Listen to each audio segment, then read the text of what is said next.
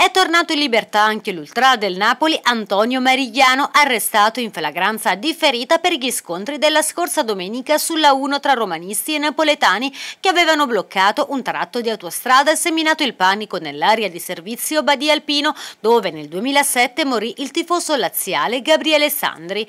Il GIP del Tribunale di Napoli ha deciso di non convalidare l'arresto dopo aver visionato un video presentato dall'avvocato che assiste il tifoso.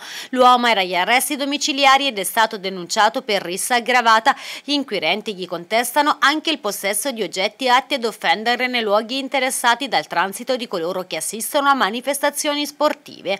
Dai quattro fermi effettuati dopo gli scontri tra tifosi, dunque l'unico a vedersi convalidato l'arresto è stato l'ultra romanista Martino Di Tosto. Il giudice del Tribunale di Arezzo Elano Apisto lo aveva comunque scarcerato sottoponendolo all'obbligo di firma e di dimora nel comune di residenza.